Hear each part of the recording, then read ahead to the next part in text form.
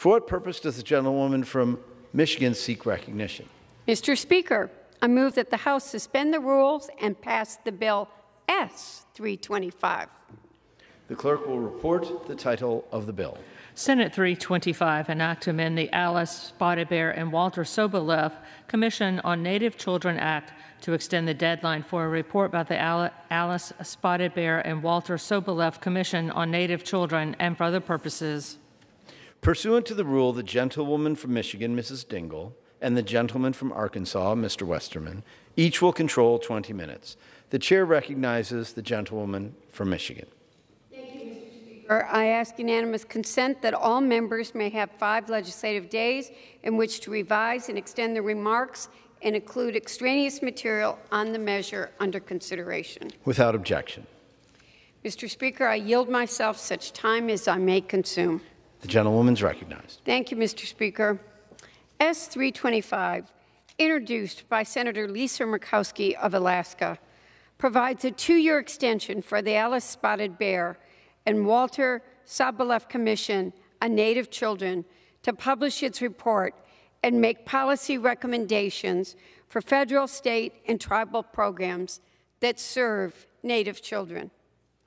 Native children experience severe health and socioeconomic disparities compared to all other racial and ethnic groups in the United States due to the cycles of intergenerational trauma. It is the federal government's trust responsibility to provide for the health and well being of Native children. However, the COVID 19 pandemic delayed much of the Commission's essential work. Passage of S 325 will grant the Commission an extension of time and ensure that the report best addresses the need of Native children through the much needed expertise and cultural wisdom. I want to thank the distinguished senator from Alaska, Senator Murkowski, for introducing and championing this critically important legislation, as well as my dear friend uh, and natural resources colleague, Don Young, for leading the House companion bill. I urge my colleagues to support S 325. I reserve the balance of my time. The gentleman from Michigan reserves, the gentleman from Arkansas. Mr. Speaker, I yield myself such time as I may consume. The gentleman is recognized.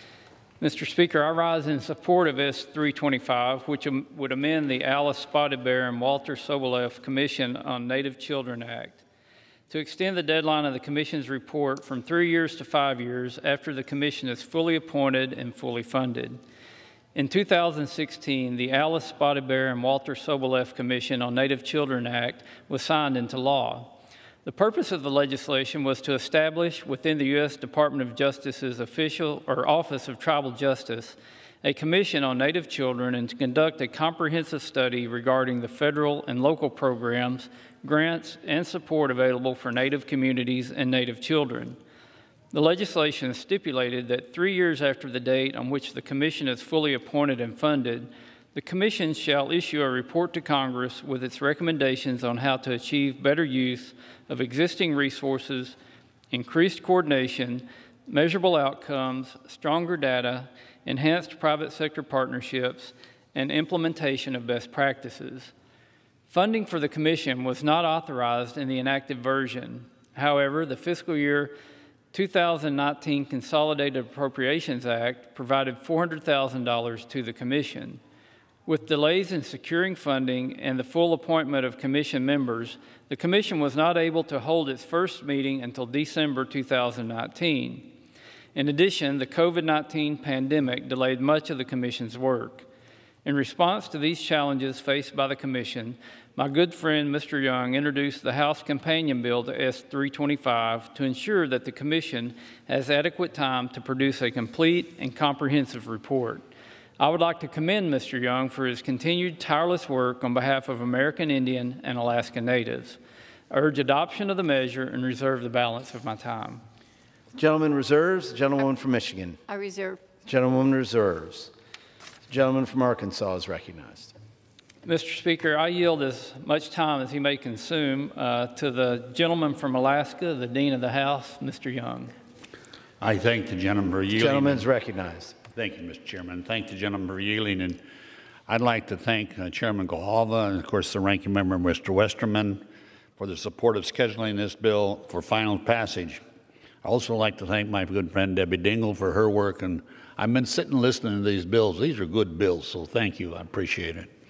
I introduced this bill on the House side. I'd like to thank Congressman Case and Congressman Hawley for their sponsorship and support. It has been mentioned S325 gives the Elise Spotted Bear and Walter Soboleff Commission on Native Children two more years to complete their important work and report their findings to Congress. The Commission is tasked with conducting a comprehensive study of federal, state, local, and tribal programs that serve Native children with the goal of developing a system that delivers wraparound service for Native youth.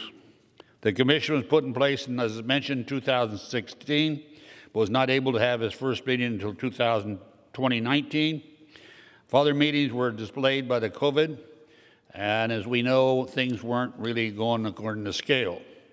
But my good friend, Gloria O'Neill, serves as chairman of the commission, and I'm thankful for her leadership in this issue and her commitment to ensuring the commission has enough time to do this important work.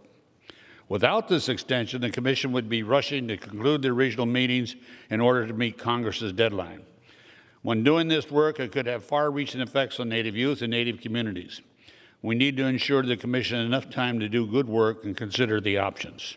I also, my colleagues have noticed recently in a lot of publications about some of my schools concerning Native students, Native youth, and especially in Canada. Will this commission also look at that process and see what has happened in the past and we can avoid what's going to occur in the future? Uh, this is a needed commission, a needed uh, bill. I urge my colleagues to support S 325. I yield back the balance of my time. Gentleman from Alaska yields. Gentleman from Arkansas. Mr. Speaker, again, I urge adoption of this bill, and I yield back the balance of my time. The gentleman from Arkansas yields. Gentleman, gentlewoman from Michigan is recognized. Mr. Speaker, I again thank the leadership of the Dean of the House, Mr. Young, on this, and Senator Murkowski for the Native children.